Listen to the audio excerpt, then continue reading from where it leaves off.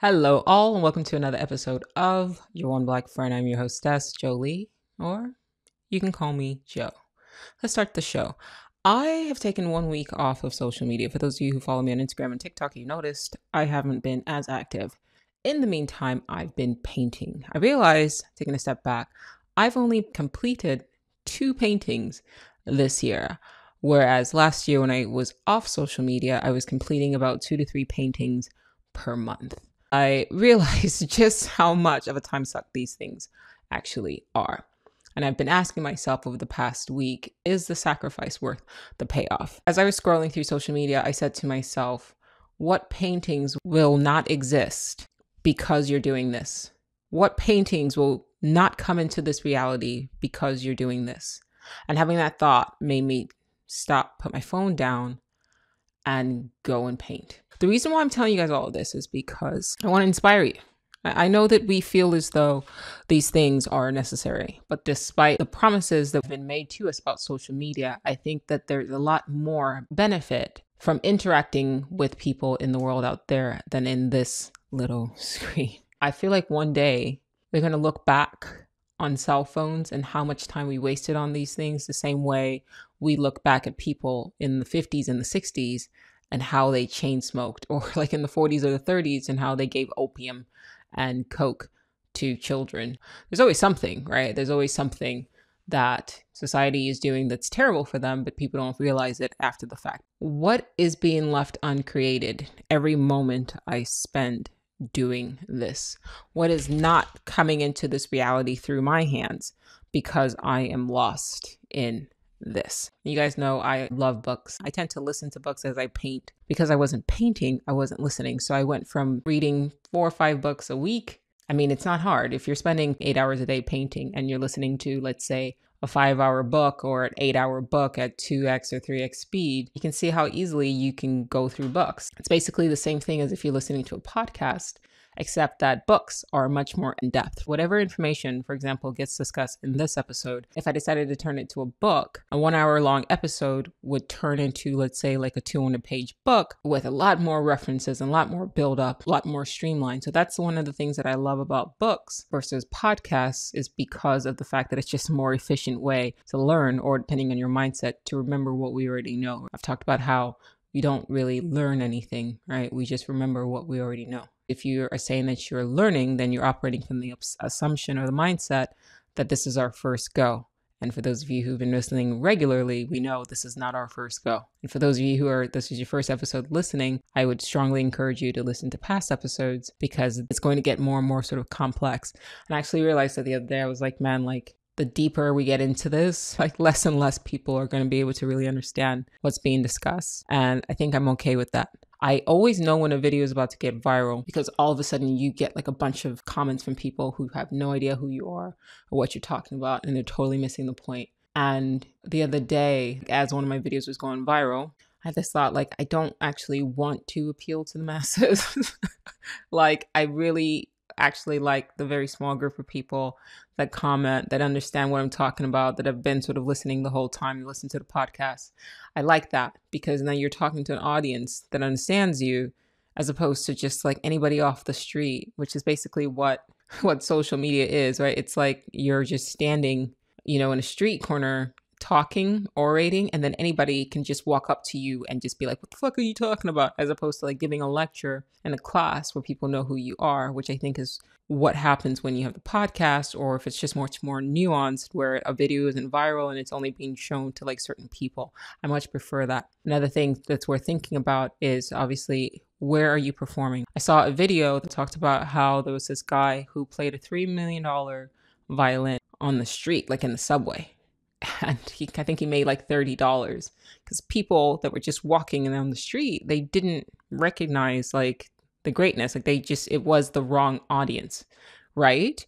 As opposed to being part of an orchestra where people are spending lots of money and they're getting dressed up and they're coming to you because they understand the value that the mind of the audience is tuned to what you have to say. And of course it's better for both parties right? It's better for those who understand that kind of music to go to such a place as like an Opry to listen, as opposed to having to go to a subway to try to like find the classically trained violinist And it's also great for the classically trained violinist to play to an audience that appreciates his music. And that was what has been sort of going in my mind. Like the more and more I'm on social media, the less and less I want to be on social media. And I really want to scale it down to just one clip a week, just to sort of remind you guys that the podcast is here because it's such a marketplace that just anybody can come up and well, very few people actually understand what's being said. And so I want to talk to the people who understand what's being said. You know what I mean? It's just much more rewarding to focus on that. I want to talk about the books that I've read this week and give you the lists in case you guys want to listen as well. Um, I Am That by Osho. I've read it before, but it was worth listening to again. Uh, Osho is one of my favorite thinkers and philosophers. If you've not heard him or heard of him, or you've only heard rumors about him, I suggest that you check out his work anyway and just judge for yourself. Once again, when you see like his quotes in a public forum, you go and you read the comments, and people or some people are just like, oh, he had a bunch of like Rolls Royce or whatever, and he called himself a guru, but he believed in luxury cars. And it's like, once again, here's you know somebody in the crowd who has no idea what they're talking about because they have that mindset that tells you that they're not going to actually go and listen to what this man had to say right? Because if they actually took the time to listen and really understand, notice I said understand, and I'm pointing to my chest for those of you who are not watching, I'm not pointing to my head, to really understand what he was trying to say, if they really understood what they were what he was saying, they wouldn't make the comment about the kind of car that he chose to drive. What does it matter?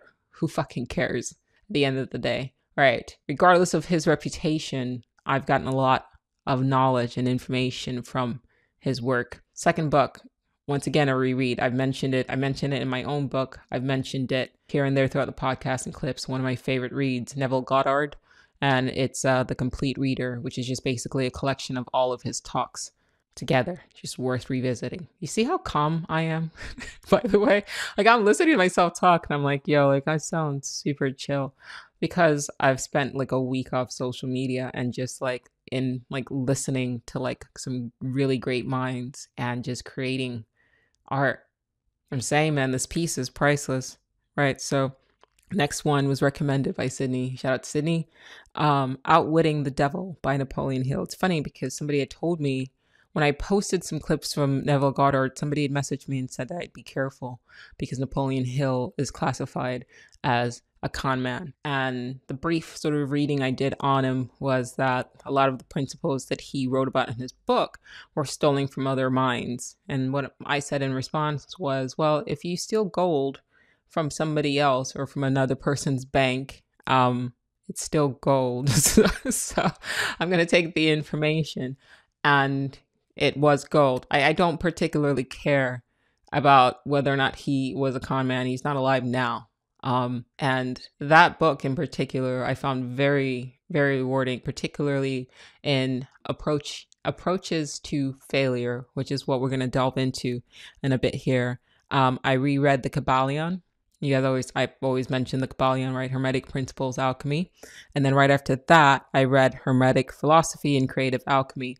That book is just more of a, like, a glossary. If you want just sort of an understanding of Hermetic, like, terms, I would recommend that.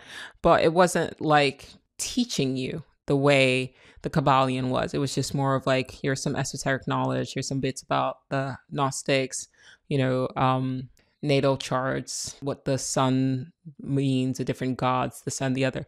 So if you want a sort of a book to have that as a reference, I'd recommend that. But it wasn't like as hearty and as meaty as I would have liked it to be, but I, I, obviously kept the book. And right now I'm finishing Discourses and Selected Writings by Epictetus. And it's once again, it's along the lines of Stoicism. And it's just the way it's written. Um, yeah, it's just a kick in the ass. It just puts things into perspective. So if you guys want to try or check those out, um, those are good reads. I definitely recommend them. So what I want to talk about today, though, is failure. Failure, failure, failure. If at first you don't succeed, fail, fail again. If at first you don't succeed, fail, fail again. I had somebody talk to me and they were talking about how like um, I gave them a tour of my studio and they're like, "You have so much work. Are you just hoarding your paintings?" And I'm like, "No, I've sold some of my paintings. I'm giving some away." Um, the issue I've been running into is that a lot of galleries are telling me that my work is too ethnic and So I stopped trying to find a gallery for a while. I found one earlier this year, and then the lady was like trying to get me to pay to be a part of her gallery, which is not how galleries work because you're supposed to pay me after you sell my art. That's how that works. So I backtracked. But what happened after that is I allowed myself to get discouraged. Not that I quit, I just took a step back and I kind of listened. I had several gallery owners tell me that my work was too ethnic, which is so weird. It's such a weird thing to say, right? Because these are, I'm painting people and ethnic people are like everyone's in an ethnic group, right? So I I was left with this idea with this thought that well, if these were all like let's say blonde-haired, you know, blue-eyed women, pale-skinned women, would I have gotten that same comment? Of course not. Of course not. But it's a weird thing to say, especially to a person of color. And so I took it to heart and I kind of allowed it to sort of discourage me and I was like, all right, well, I'll just focus on other things, focus on the book.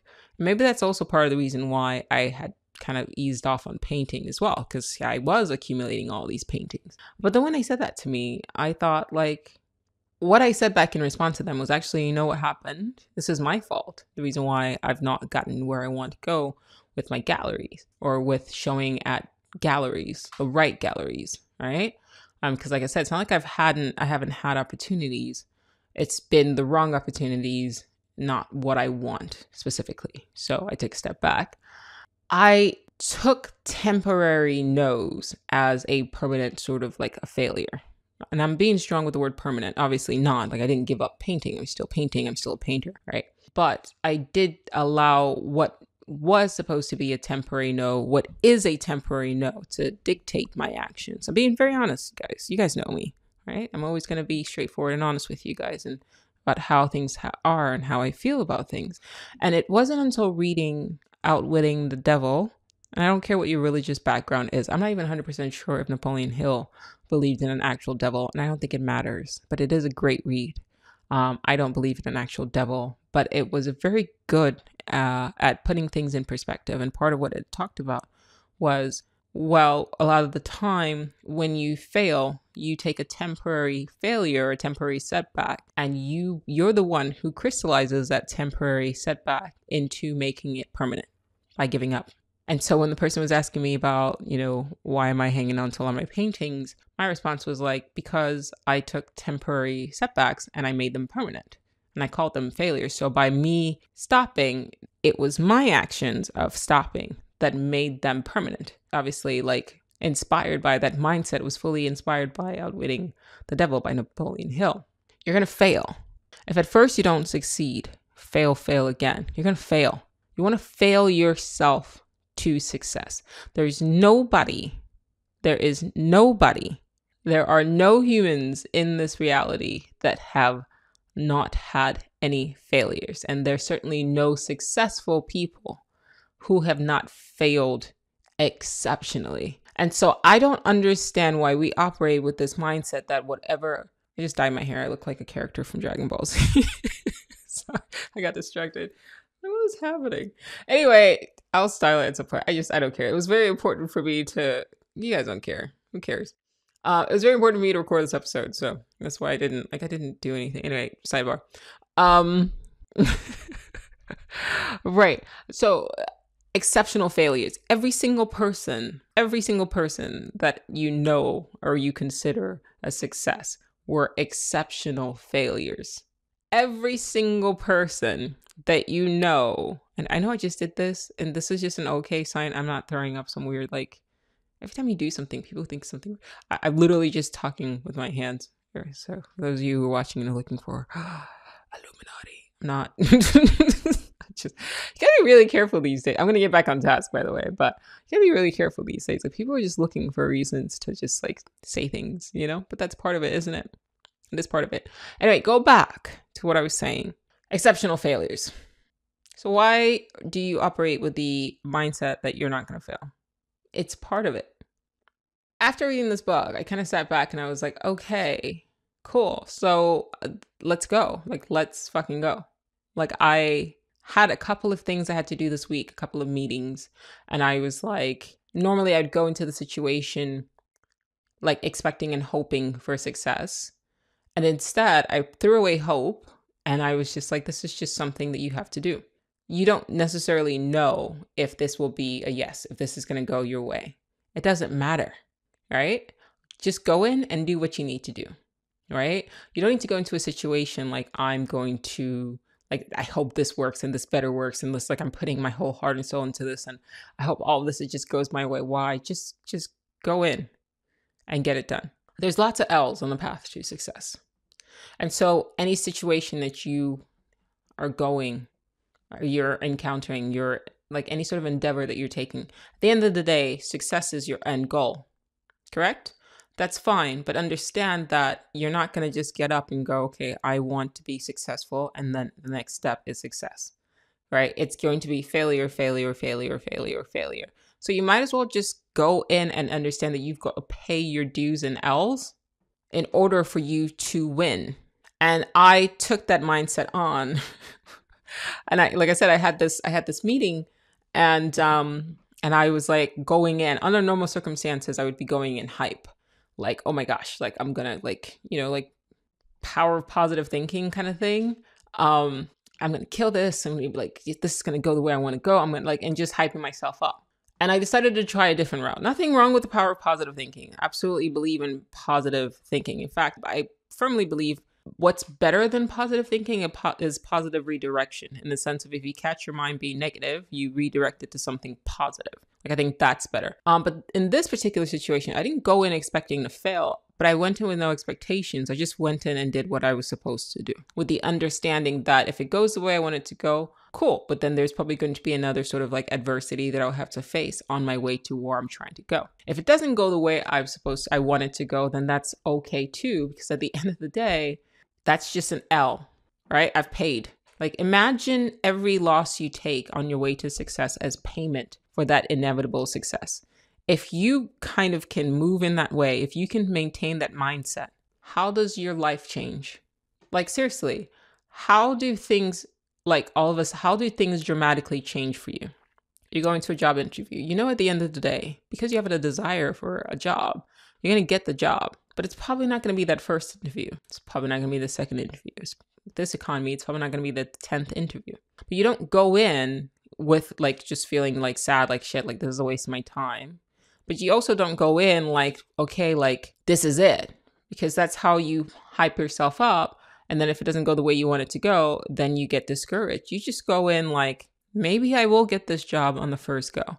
Statistically speaking, though, nine times out of 10, when you're starting something new, it's not usually the first attempt that is successful. I've talked about this before.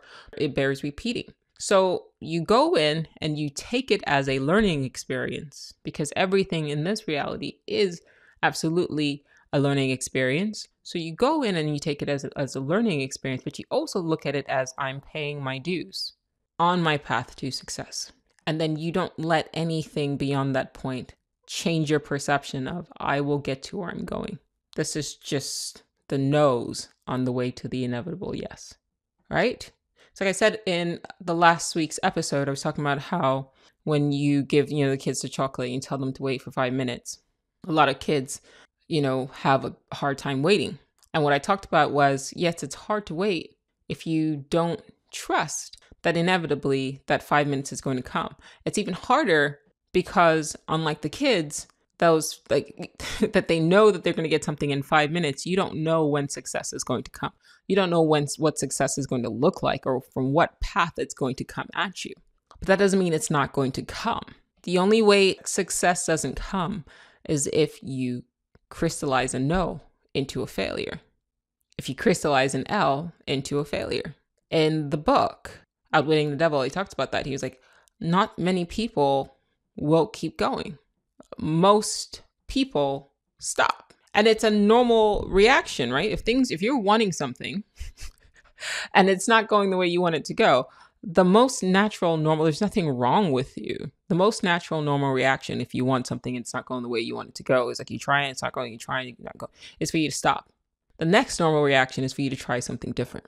My third suggestion is if at the end of the day you just want success, then a third thing to do, a third thing to try is You put your eggs in a bunch of different baskets so that regardless of what you're in, one of them has to take you to success, right? Then you're not hyper focused on it's got to be this thing, right? Because sometimes I get sort of like like tempting or distracting. For example, use my cousin as an analogy. He wants to be independently wealthy. He wants his time to be his own. And so he figured that the best way to do that is by trading, by learning how to trade. But what I try to remind him was what his ultimate goal was. And his ultimate goal was he's not he's not trying to be a successful trader, he's trying to be financially independent.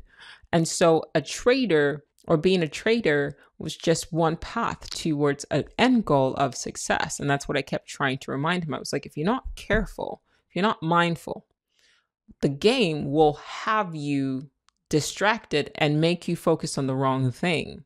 So you'll get caught up in being a really good trader instead of being independently like wealthy and free. Do you see what I mean there? You see what's going on there? Sometimes it's really, really easy to slip and forget ultimately what your goal is. It's the same thing, even like with social media. I've gotten caught up in social media. My end goal was success, right? But for a while, that big goal of I just want to be successful. I just want to be successful. Anyway, that, that end goal of I just want to be successful somehow turned into I want to garner a lot of like followers or subscribers on social media and I'm off my path. It's like, no, no, no. I want to be successful. And there's different paths to success, whether it be art, whether it be social media, whether it be writing, whether it be podcasting, whether it be investing, whether it be t-shirt designs or fashion design. I'm doing all of these things. They're all different paths. And the end goal is success. It's not a successful musician. It's not a successful, it's success and what that looks like and having an improved quality of life. And most importantly, most importantly, enjoying what I'm doing and how I'm spending my time on the path to success, because that's another distraction when I'm on social media and it's consuming so much of my time. The question has come up Joe, do you actually enjoy this? Because even if, let's just say that this is the path that's going to take you to success, Instagram and TikTok, if you're not enjoying it, then that the, the journey, you know, they always say it's not the destination, it's the journey. So if you're not enjoying that journey, then that's not the right path. It's a waste of time. We only get a certain amount of time, max, on average, max 100 years, on average 75. If you sit back and you look at your life and you go, okay, I want to be successful. And then you ask yourself, okay, how, what path am I going to take to success? And then you decide, okay, the path that I'm going to take to success, I'm going to spend like money. I'm going to spend 25 years doing something I don't enjoy. By the time you get to a place where you consider yourself successful, you would have spent 25 years being miserable. Success is ubiquitous. I'm going to say this three times. Success is ubiquitous. Success is ubiquitous. Success is ubiquitous. How do you define it? It doesn't have to be how society defines it. You have to define it for yourself. But success is there, right? What are you willing to spend? How are you willing to spend your life? Because I've said in past episodes, your life and your time is the most valuable resource that you can ever have, hands down. Okay. You can print more money, you can't print more life, and you cannot print for yourself a healthy body. So every day that you're healthy and you're happy and you can see and you can walk and you're not in pain, how are you spending that? Because if you're spending a day that you're healthy and happy and whole doing something that you don't enjoy, you are wasting your time that you cannot print more of. You are wasting your time that you cannot get back. If I spend $20, I'll get $20 back. If I spend 20 years, 20 of my best years where I'm looking good, right? And I'm feeling good and I'm spry and I can run and I can do, I can dance and I can taste and all the stuff like that. That's how I'm spending it doing shit that I don't like. Yes, of course, you can make the argument that we reincarnate and we come back, but this is one path, this is one goal that we do remember at one given time. Because no matter how much you've spun this up, and no matter how much deja vu you have, and uh, no matter how many prophetic dreams that you've had at the end of the day, we are really contained in this one life at a time.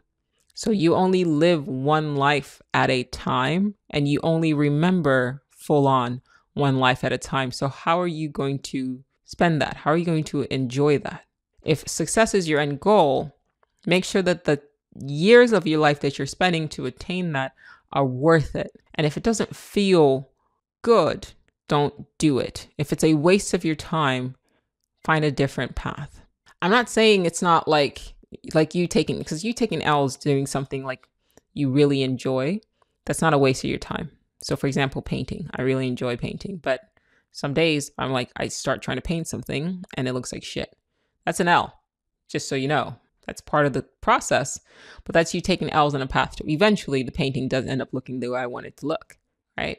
If it didn't, if it doesn't eventually end up looking the way I want it to look, I would never have started it in the first place. Outcome, for those of you who read my book, you're familiar with this, right? Desire and outcome are linked. You would not seek something had you not already found it. All of timing's happening right now. So there's a correlation between a desire for something or a want for something and your attainment of it. But if you desire something, the key is to not stop until you attain that, however path that looks like. This could apply also to like a partner, right? If you're looking for like in a romantic situation, in your mind, you have something of the kind of partner that you want, right? You only miss out on that partner if you settle for somebody that's not what you want, right? The reason why you have a desire in your mind of the kind of person that you want is because on some level, now there's a version of you in what we call the future that will meet that person. Otherwise, you wouldn't have had the desire for them in the first place. So, just like those kids, right, that we talked about the example with the chocolates having to wait five minutes, remove the five minutes because you don't know when it's going to happen and just trust simply that you have the desire for something. I'm not saying for someone, because I get a lot of messages from people telling me that they're going to marry me specifically. No, you're not. like it's not. I'm not interested. I apologize, but thank you. I, don't. I, I never know how to respond to that because like they're very like it's you know you could tell that they've been reading like The Secret or whatever, and they just like I've set my intention, and it's you, and it's like no no no, it's not me specifically. There's something about me that you find attractive, but there's eight billion people. There are other people who have similar traits like me, go and find them. It's not me specifically I'm spoken for. I apologize if you're one of those people. I don't know how else to say it, but I'm okay. I'm good. Uh, but there's obviously something about me and the qualities that I have that you're looking for. But that doesn't mean that if you believe strongly enough and you put a picture of me on the vision board, that I'm going to be yours because that's not this is why a lot of people fail you keep in your mind as long as you keep that the image open and the qualities are what you're looking for somebody healthy somebody happy somebody wise somebody who enjoys music somebody who loves art respects the spirit world and thinks with his heart sorry i just like dry quoting um India.Arie's ready for love that's a beautiful song by the way um but yeah I should go listen to that song. India.Arie, A R I E. She wrote the song called Ready for Love. And it's a beautiful song. Um, but those are the qualities, right? So then keep your mind on I want a person with these qualities, not that person specifically. Because I think that's also why we kind of get like thrown off course is that we get sort of hyper focused on a person so that if it's not working out, we go, oh no, like we're we're never it's not we're never going to be happy. We're not going to you know we're never going to find what we're looking for if it's not working out with that specific person that happens to have the traits that you want. No no no. There's 8 billion people. You will find the person that has the traits that you want.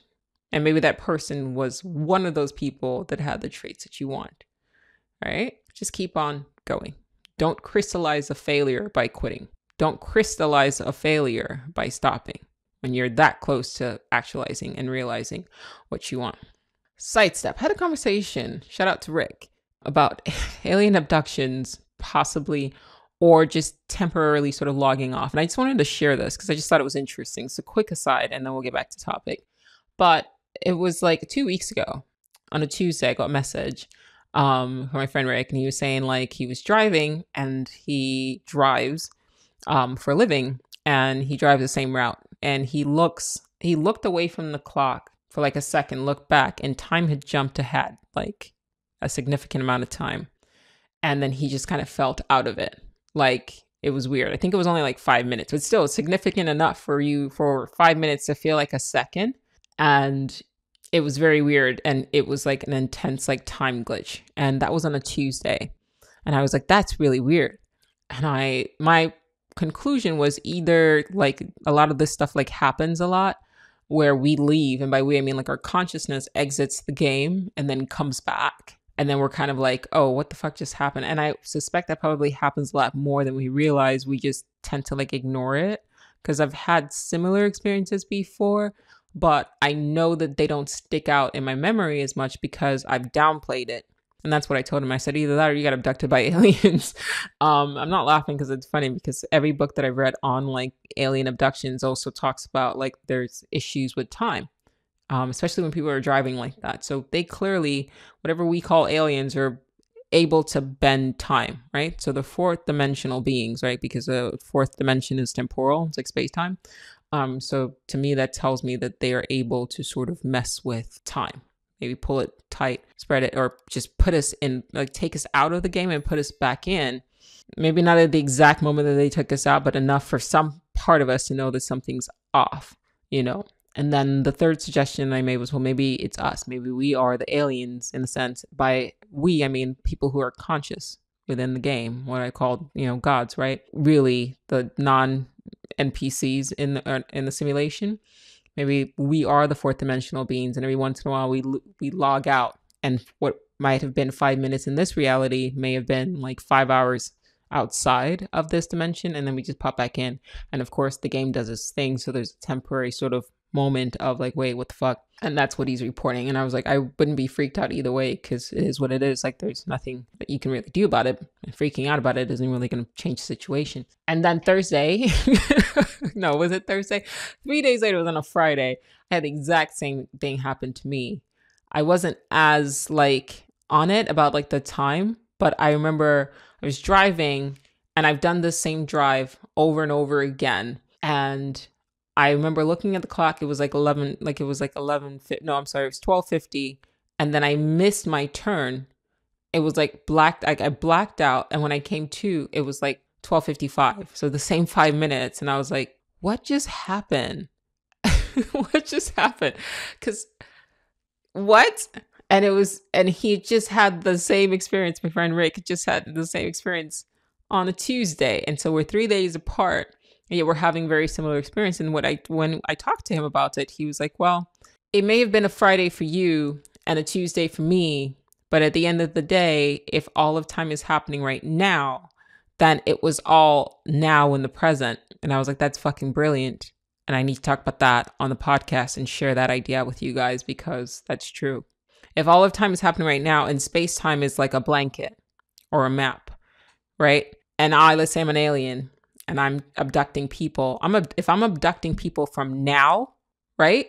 Then whether I take them out of now and that now is a Friday for me or a Tuesday for Rick within the game, that's still now. So at any point in time, if there was a mass abduction, this is assuming that it was aliens and they were not the you know, the actual fourth dimensional beings who are constantly choosing to exit the game at that point in time and take care of whatever we need to. But let's just say that there was a mass abduction and it happened now.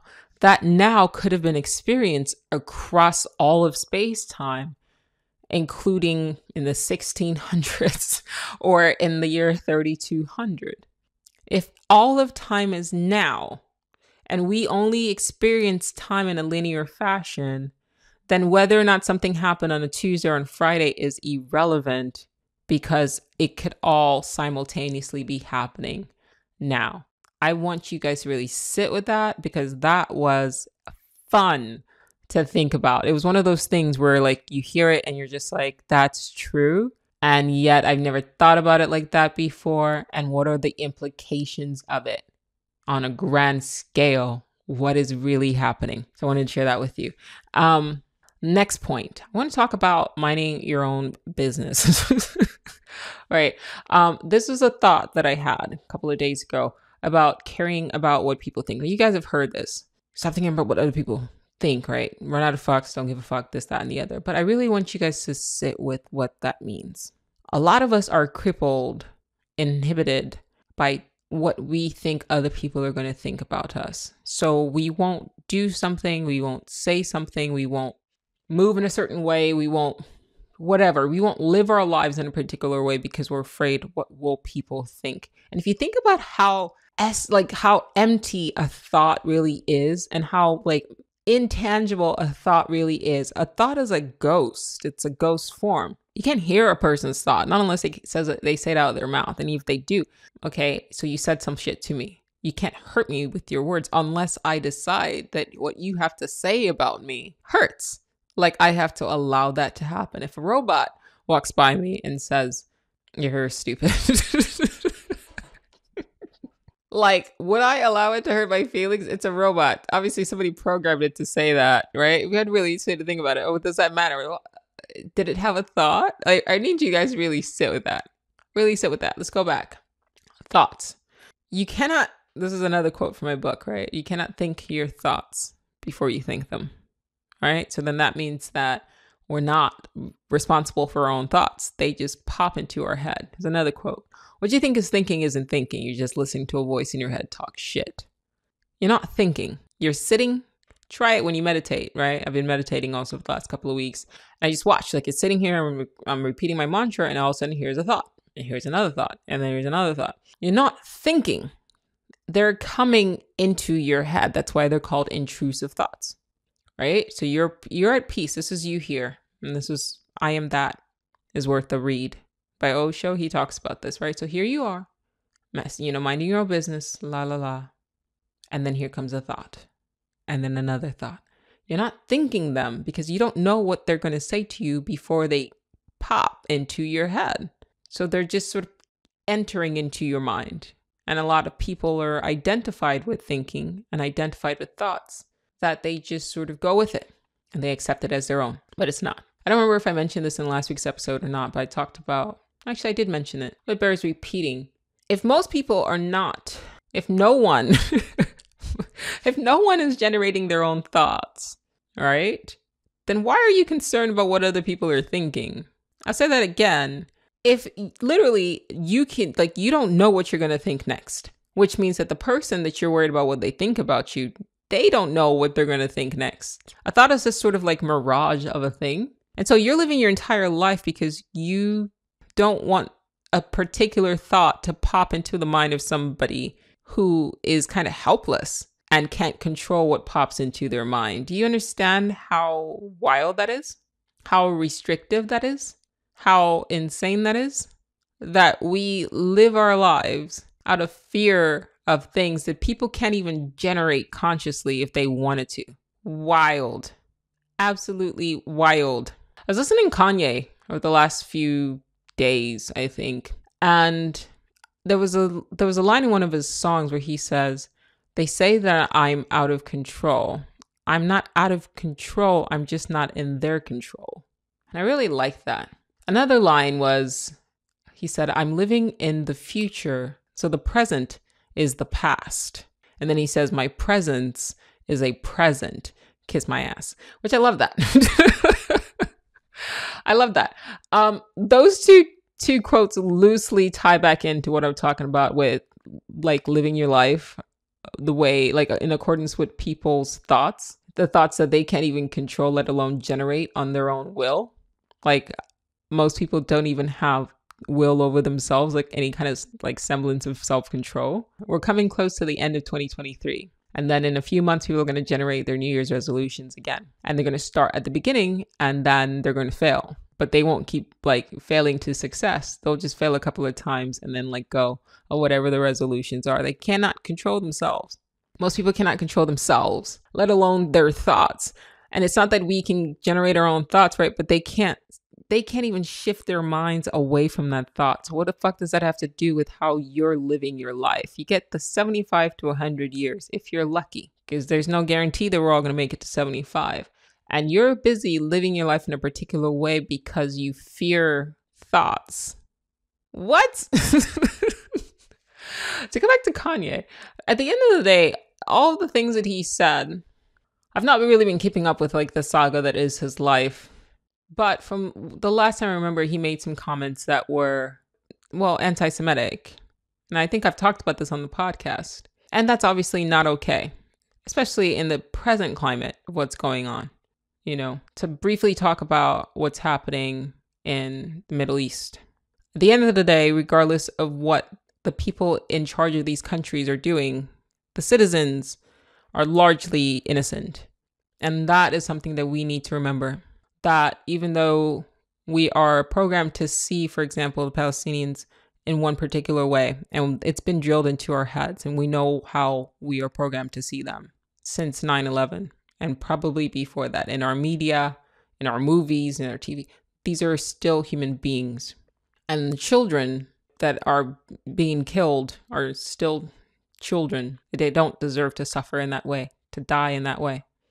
And that's important to note that regardless of what's going on or where you stand, these are human beings who have the same 75 to 100 years if they're lucky. And being in a situation like that, a lot of people aren't going to even make it to 75. And a lot of people are going to live either in intense fear in the meantime or die in terrible ways, in ways that we in the West are lucky enough to not have to experience. And that's worth noting. So anything that can be done in a way that stops that so that collectively we're not suffering because we are all one. So even if it's something that's affecting people in a particular region, there's no way that it doesn't affect the collective on some level. And that's something we need to sort that out. We need to sort out. I don't know what the solution is, but I do know that if enough people come together and say no, then people in charge of both factions or both sides will really, well, they would have to stand down. But in the meantime, until that happens, we need to see each other as humans and as part of a collective, regardless of the skin that they're in or the religion that they profess to believe in. But that's that's my take on that. To go back to Kanye, regardless of the comments that he's made, at the end of the day, he's still relatively more free than a lot of people because the big thing that you've noticed is he actively goes out of his way to not care to to show or and I, and I'm I'm hesitant to say to show because he doesn't strike me as the kind of person at this point in his life where he's trying to demonstrate anything. This man is just doing what he feels like doing and saying what he feels like saying. And that's a certain level of freedom that a lot of us, the rest of us, don't can only really like aspire towards for being real. I saw a video of him getting a pedicure and this woman clipped his toenail too short, Kanye and you watched him like look at the lady as she cut his toenail and hurt and he goes ow. And then he was like you know what? That's it. This is over. Like i'm done. And he gets up. And i don't remember what rapper was filming him but the rapper was like shocked which is interesting to me because like at that level of like fame and wealth you would think that he would understand right?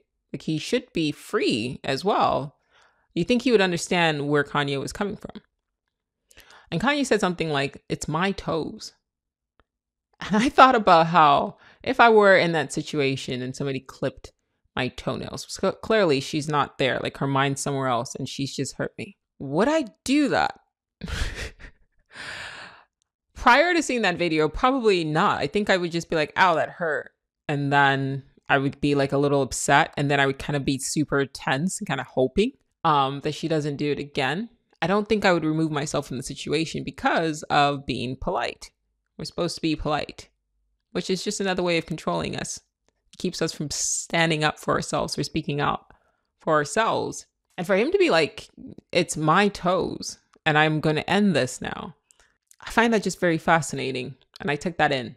I wish a lot more of us moved in that way. We're honest and say, like, in setting clear boundaries. Because I remember something to if I think somebody said like Paula Abdul had like she was getting a pedicure and her toe or foot got like really infected. And then I think I saw another comment where people were saying like somebody lost their foot. I, am not laughing at this. At, at, I'm laughing at the situation, not like at the person's pain. But they lost their foot because something similar happened. And I thought, gosh, like imagine a person got nicked and they didn't say anything because they didn't want to be rude, even though they've just been hurt. And then they ended up losing their foot because they didn't want to be rude. And I remember I uh, thinking, like, gosh, how much of our actions are driven by, once again, other people's perceptions? I'm not going to do this thing that's better for me because I don't want this person to think this. Most people don't think. Most people have thoughts interjected into their brain. So you might as well do what best serves you Get what I mean? And that's something I've been kind of going back and forth with with the podcast, with social media. I'm still going to do the podcast because um, I read a lot and I want to be able to share what I have to say, you know, what I've read rather with you guys. And like I said, I kind of like it smaller. It's the Instagram and the TikTok thing that I'm going like, do I really need to be doing this? And I'm getting a lot of different people's inputs. And I'm still moving in a particular way where it's like, well, I should maybe just do this continuously once a week. But the more I think about it, the more I'm like, I don't fucking want to. I don't want to. It's just whether or not it's once a week, that's still editing and that's still time that I'm doing something that's taken away from me doing something else. And it's not quitting because at the end of the day, I'm a painter and I'm a podcaster. I like talking, I like sharing ideas in this way, in the form that is most comfortable to me. Because my issue isn't social media. Clearly, you could argue that YouTube is a kind of social media. My issue is short form. It's always been my issue. Like, I'm contributing to people like diminished attention span. Because you're going to go and you're going to watch my, my one minute video. And then you're going to scroll to another one minute video. And then at the 10 second, you're not going to just be like, oh, I've just watched Joe's video and then I'm off so every time I'm contributing to that, like I'm part of the problem. Whether or not I'm only editing one video a week, the moment I put that on there, you're going to go into the app. I'm contributing to that. And that's something I've really got to sit with. Sorry, I'm guys, I'm just like venting. but I hope that you can take something from this as well because I know you I know I'm looking right at you. I'm looking in your soul. I know you're presently doing something that you don't want to be doing because other people are saying that, well, maybe you should do this, but it's not something that you're feeling. And it's something that there's other ways to spend your time. I hope that liberates you. That should be enough. It's your time. Like Kanye said, it's my toes. Because, like I said, I think it was 2 Chainz that was filming him, and he looked shocked because he couldn't understand why Kanye would be like, I'm done. Because the idea is, well, you've started something, you got to see it like through, right? And even if it upsets her, she's going to make her feel, but she's just hurt him. It's not about her feelings. It's not about her thoughts. It's not about her, what, whatever her, like, I'm sure he's going to tip her, but at the end of the day, it's about protecting his autonomy, setting a boundary, and also making sure that his body is, is safe are you doing that in terms of your mind? And are you doing are you that protective of your mind, of your time, of your body? Another situation is like you go into like well you're like let's say like you're you're trying to eat healthy and you get around certain family members and they want you to eat like all of this stuff. A big one for me was when I gave up drinking. And I would be around people and they'd be like, Well, you should drink, you should drink. And I'm like, I don't drink. And then they would try to like peer pressure, just have a drink. It's my body. I'm sorry, me not wanting to put poison in my body is making you feel uncomfortable. But you're making me feel uncomfortable by insisting that I put some shit in my body that I don't want to put in my body. It's my body. Now, the pressure, you can succumb to that and be like, well, fine, I'll just have a drink. But how's that serving you? You're hurting yourself because you don't want other people to think a certain way about you fuck their thoughts. Like they can't even like generate that thought. These thoughts that are coming into their head are being generated by society. It's a re it's like a loop, yeah? Like if we lived in a society, for example, where drinking was not as normal, then those thoughts that popped into their head wouldn't have popped into their heads. Those are automated thoughts. If you're a free enough individual to take a step back and go, I don't want to imbibe an alcohol and harm my body in that way, and you're saying that to people who are not free and they're drinking because that's just what you do, your freedom will be offensive to somebody who's enslaved. And so they're saying, put a chain back on you. And you're saying, I don't want their chain. And then they say, but you should because everybody else is in chain or in chains rather. But it's your life. It's your freedom. No. There's something very powerful there if you can kind of let it marinate and then like affect your behavior. Anyway, I want you guys to think about that. Not a bad episode. Catch you guys next week. Thanks for watching.